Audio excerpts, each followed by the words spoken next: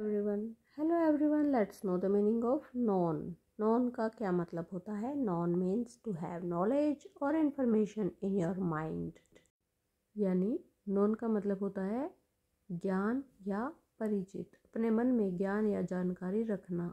Non कुछ जानना। For example I don't know much about sports मैं खेल के बारे में अधिक नहीं जानता। आज की इस वीडियो में बस इतना ही।